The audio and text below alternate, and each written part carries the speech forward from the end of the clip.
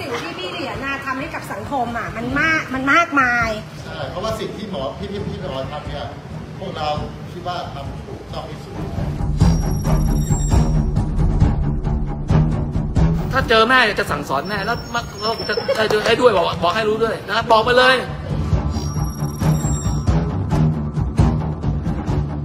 กรณีแม่ของเด็กชายวัย 14 ปีที่เข้าแจ้งความเอาผิดในแพทย์คนดัง หลังลูกชายพาภรรยาไปหาหมอ เพราะว่าลูกไม่ดิ้นแล้วลอบสูบบุหรี่ในห้องน้ำของโรงพยาบาล ปรากฏว่ามีเจ้าหน้าที่ถ่ายภาพและนำตัวลงไปบริเวณหน้าห้องฉุกเฉิน เรียกแม่มาเสียค่าปรับ 5,000 บาท ก่อนมีชายคนหนึ่งเดินมาทำร้ายร่างกายจนได้รับบาดเจ็บ จากนั้นบังคับให้ถอดเสื้อผ้าออกให้หมด และเดินออกจากโรงพยาบาลไป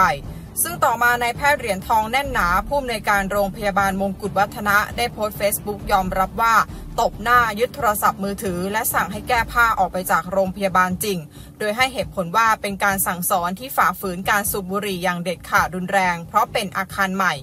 ขณะที่แม่ของเด็กชายวัย 14 ได้เปิดถุงเสื้อผ้าของลูกออกเพื่อตรวจสอบสิ่งของด้านใน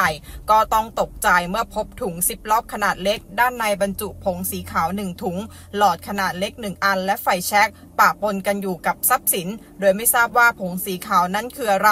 ทำให้ทุกคนที่ขึ้นไปต่างตกใจและพยายามสอบถามว่าเป็นของใคร เมื่อผู้สื่อข่าวถามว่าที่ผ่านมาลูกชายเคยมีประวัติเกี่ยวกับเสพสารเสพติดหรือไม่ แม่บอกว่าไม่รู้เลย และถ้าผลตรวจออกมาว่าลูกชายเสพสารเสพติดก็คงต้องปล่อยให้เป็นไปตามกระบวนการทางกฎหมาย ต่อมาค่ะคุณผู้ชมเด็ก 14 รายนี้ก็ยอมรับว่าซองบรรจุผงสีขาวที่อยู่ในกระเป๋านั้นเป็นยาเสพติด และอุปกรณ์การเสพ ซึ่งทั้งหมดเป็นของตนเอง ซึ่งยาเสพติดเป็นเฮโรอีน ส่วนที่พกติดตัวไว้ก็เพื่อนำมาดม โดยซื้อมาจากแถวบ้านในราคา 50 บาท ล่าสุดนายนพดลพรหมภาสิทธิ์หรือว่ารอยตู้ค่ะ ก็ได้โพสต์คลิปขณะที่ FC ต่างเข้าไปให้กำลังใจ มอบดอกไม้ให้หมอเหรียญทองถึงโรงพยาบาลอ่าไปมีคุกด้วยกันไกลเกลี่ยกับไอ้ไม่ใช่เหรียญทองถ่ายทอดได้ไหมคือ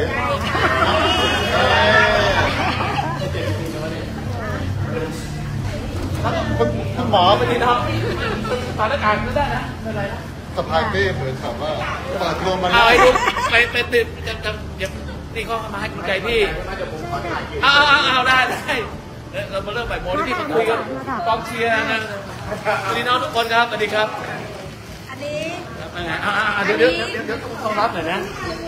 วันนี้เปิดเทอมวันแรกนะครับ พอดีคุณหมอก็น่าจะกลับจากโรงเรียนนะครับไอ้คนถือดอก ไม้นี่เป็นนะคือสิ่งที่พี่เหรียญน่ะทำให้กับสังคมอะมันมากมันมากมายนะคะในหลาย ๆ ด้านนะคะพี่ไม่ว่าจะเป็นในด้านของเรื่องการรักชาติเอ้ยศาคุณมีสนาศาสตร์เดี๋ยวค่ะคุณมีรับโทรศัพท์เนี่ยเดี๋ยวซึ่งพี่เหรียญทำให้มันพวกเราอะรักรักและแล้วก็ศรัทธาพี่เหรียญมากนะคะโดยเฉพาะในเรื่องของการที่ช่วยเหลือเพื่อนมนุษย์ในการขยายโรงพยาบาลเพื่อรองรับผู้ป่วยบัตรจอง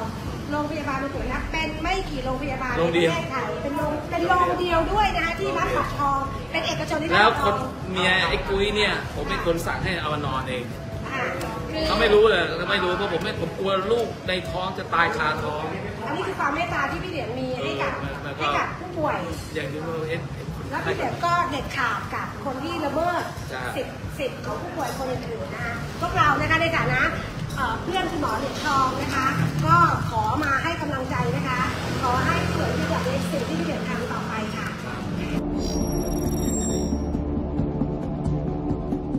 เราได้ติดตามทุกเรื่องทุกราวทุกการกระทำที่เกิดขึ้นกับพี่หมอนะครับ เราจะเป็นลมใต้ปีกให้พี่หมอใช่จะเป็นกำลังใจให้ใช่เพราะว่าสิ่งที่หมอพี่พี่พี่หมอทำเนี่ยพวกเราคิดว่าทำถูกต้องที่สุด เป็นกำลังใจให้พี่หมอเดี๋ยวผมรับทีเดียวพูดทีเดียวนะพี่ขอบคุณน้องๆทุกคนนะบางทีเราก็เจอในเฟซบุ๊กติดตามน้องๆไงพี่ก็ติดตามน้องๆแล้วก็ที่พี่ชื่นชมเป็นอันดับแรกนะ คืออุดมการความจงรักภักดีต่อพระเจ้าแผ่นดินและสถาบันพระมหากษัตริย์อันนี้พี่ชื่นชมมากของคณะวะเลยนะ ส่วนในเรื่องส่วนตัวของที่พี่เกิดขึ้นเนี่ยพี่เป็นคนแต่ว่าเรื่องเยอะ เกเรหรือเปล่าก็ไม่รู้นะ เราอาจจะเติบโตมาแบบลูกผู้ชายขออนุญาตค่ะพี่เดียแล้วมันอันเราจะนี้อันนี้ไม่ได้เรื่องส่วนตัวนะคะพี่เดียพี่เดีแต่ยแต่แต่ทำนี่ยแต่เหตุการณ์ครั้งนี้ค่ะขอบขอบคุณเข้าใจถูกอ่าค่ะเหตุการณ์ครั้งนี้เนี่ย มันไม่ใช่ครั้งแรก มันซ้ำซากเกิดขึ้นในโรงพยาบาลมงกุฎวัฒนะอย่างอย่างเดียวก็เยอะแล้วจริงๆมันเกิดทั่วประเทศไทย ประเทศอื่นเขาก็ไม่มีกันนะค่ะปัญหาควันบุหรี่อย่างที่พี่พูดพูดซ้ำอีกทีนะ ไม่ใช่เพราะพี่เป็นหมอพี่ถึงอินเรื่องนี้ แต่ควันบุหรี่เนี่ย มันเป็นสาเหตุก่อมะเร็งปอด ค่ะถุงลมโป่งพองค่ะนะคนสูบบุหรี่เนี่ยมันจะเป็นอะไรค่ะนะแต่คนที่เขาไม่ได้สูบเขาไม่ได้เกี่ยวข้องเขาไม่ได้เขาไม่ได้ต้องการก็ต้องมานั่งสูบโดยที่แบบปฏิเสธไม่ได้เดินไปก็หลบไม่ได้ แล้วนี่โรงพยาบาล ซึ่งเป็นคนป่วย ไม่ใช่คนแข็งแรง ค่ะ คนแก่คนเฒ่าบางคนเป็นมะเร็งอยู่แล้ว ต้องมานั่งซ้ำเขาอีกค่ะนะครับ โรงพยาบาลกฎหมายก็บอกว่าเป็นพื้นที่เขตปลอดบุหรี่มีการปรับแต่กฎหมายบ้านบ้านเรานี่หน่อมแน้มที่สุดนะเพราะว่าปกป้องโรงพยาบาลน้อผยมมาจะกขึ้นค่ะศาลพูดให้ศาลฟังอย่างนี้ด้วยค่ะแล้วน้องๆไปฟังดูผมจะพูดก่อนที่ก่อนที่ผมจะรับจำคุกไม่เป็นไรศาลท่านจะกดผมอะไรก็แล้วแต่นะผมจะถือว่ากฎหมายหน่อมน้ำอย่างเงี้ยนะอาจจะไม่ใช่ผู้ว่าศาลนะอาจจะอาจจะอาจจะเริ่มเมิดอำนาจศาลห น่อมน้ำอย่างนี้มันไม่ได้ทีนี้พอโดนงนี้ปั๊บแม่ก็ตอบนักข่าวเองนะครับว่าว่าแม่ไม่รู้แม่กับลูก แม่ไม่ได้อยู่ ลูกไม่ได้อยู่กับแม่แม่กับลูกต่างคนต่างอยู่ อันนี้เป็นหลักฐานว่าแม่เนี่ยทอดทิ้งเด็กอายุ 14 ปี ตั้งแต่เด็กยังไม่อายุ 14 ปีด้วย เมื่อแม่ทอดทิ้งลูกจนเป็นปัญหาสังคม และมาก่อเหตุที่โรงพยาบาลนี้ แม่ก็ต้องรับผิดชอบ นะครับ เมื่อแม่คิดว่าแม่จะปกป้องลูกเอาความรัก ความรักของลูกที่แม่มีต่อลูกอะไรก็แล้วแต่ที่ตัดจริตพูดเนี่ยนะไอ้ที่ปล่อยทิ้งลูกทิ้งขว้างเนี่ยแม่กับลูกไม่อยู่ด้วยกันเนี่ยมันรักกันวะนะบาปไปดอกด้วยถ้าเจอแม่จะสั่งสอนแม่แล้วมักเราจะจะเจอให้ด้วยบอกบอกให้รู้ด้วยนะบอกไปเลยนะอย่าเจอไม่ต้องมาขอโทษมาไกลเกลียแล้วผมสงสัยอย่างนะ ทำไมเจ้าหน้าที่ตำรวจทุกสองห้อง ในเมื่อเด็กครอบครองยาเสพติดร้ายแรงประเภทหนึ่งคือเฮโรอีนทำไมยาบ้าจับเขาอะนะไอ้ก็เยาวชนเหมือนกันก็จับเขาก็ก็ทั้งตามอย่าเลือกปฏิบัติ